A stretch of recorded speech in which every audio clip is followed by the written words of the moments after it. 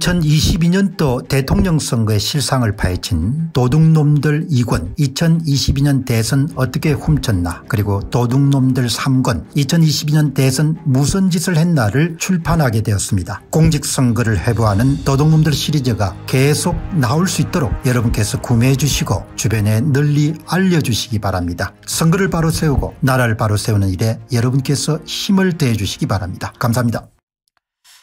자, 여러분 이제 오늘 제가 이제 내일이죠.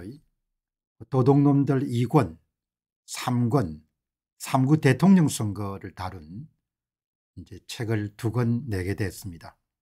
여러분께서 많이 구매해 주시고 주변에 널리 알려 주시기 바랍니다.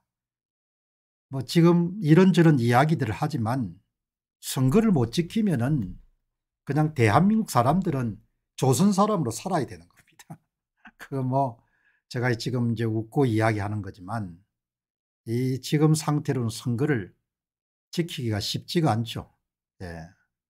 그 도둑놈들 2권 3권을 내고 원래 이제 4권 5권을 지방선거를 다루려고 했는데 그 책이 나가고 난 다음에 4.15 총선을 먼저 좀 다뤄줬으면 좋겠다 그런 요구가 있어 가지고 지금 제가 열심히 4.15 총선을 4권을 내고 그 다음에 이제 지방선거를 또 내는 그런 식으로 하는데 뭐 지금 뭐 윤석열 대통령이 뭐를 뭐 아랍에밀리트에 가가지고 뭘 잘했다 못했다 뭐 이런 거 다 어떻게 보면은 작은 뉴스지 않습니까?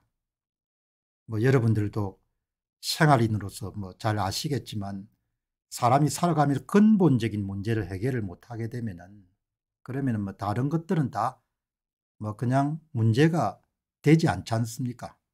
예, 지금 대한민국의 근본적인 문제는 국민들이 선거를 못 지키면 노예가 된다는 거죠. 예, 그런 선거와 관련해서는 어떤 것도 지금 해결된 문제가 없다는 겁니다. 아무것도 해결된 게 없기 때문에 오늘 여러분께서 제가 광고 드리는 도둑놈들 2권 3권 3구 대통령 선거를 다뤘지만 사실 2017년 대통령 선거부터 시작해서 2022년 지방선거까지 한국에서 이루어진 그 선거 사기, 선거 사기 방법은 다 동, 동일한 겁니다.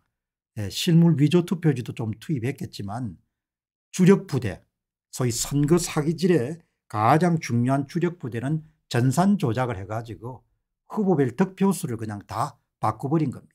그게 지금 뭐 선관위 홈페이지 가가지고 보는 그 모든 후보별 득표수가 쓰레기입니다. 쓰레기. 그게 진짜가 아니니까 쓰레기죠. 예. 지금 그런 상황이기 때문에 여러분께서는 뭐 공박사가 책을 판다 뭐 이런 차원이 아니고 지금 뭐 책 영상의 시대가 됐는데 책을 팔면 얼마나 팔리겠습니까? 그러나 참 대한민국의 지도층들이 지금 보이고 있는 태도를 보면은 뭐 완전히 그냥 예, 맛이 간 사인 거죠. 저도 한국 사람이지만 한국 역사에서는 참 유비무환이 드물지 않습니까? 국가가 미리 준비를 하고 대비를 하고 그나마 이제 산업화 시대 때 박정희라든지 이런 인물들이 있어가지고 미리 대비하고 예? 그렇지 않았으면 뭐 1961년도에 한일 기본조약이 체결되면서 받았던 일본으로부터 배상금 같은 경우도 그냥 먹고 치웠었겠죠. 지금처럼 뭐 나눠주고 이렇게 했으면 없어졌을 거 아닙니까. 그걸 가지고 포항제철도 만들고 경부고속도로를 만들고 예, 연근해업에 대한 신조 건설도 하고 소양감gem도 만들고 그게 다 미래를 준비하는 예, 앞선 사람들이 있었기 때문에 지금 이만큼 먹고 사는 거죠. 그러니까 정신들 못 차리면은 저는 가끔 그런 생각하거든요. 한국의 긴 역사 속에서 전쟁을 경험하지 않고 그래도 나라가 성장하는 시대에 태어난 것은 어마어마하게 행운인 겁니다. 그런데 네, 뭐 자식들이 또 그런 좋은 시대를 계속 살지는 두고 봐야겠죠. 네. 이 문제를 여러분께 이제 세권 냈습니다. 계속해서 이제 앞으로 공직선거를 밝히는 그런 프로젝트가 지속될 수 있도록 여러분께서 관심도 가지시고 응원도 해 주시고 예, 뭐 도서관의 희망도서도 신청해 주시고 가능하신 분들은 구입도 하시고 필요하면 대통령실도 보내드리고 예, 이렇게 좀 했으면 좋겠습니다.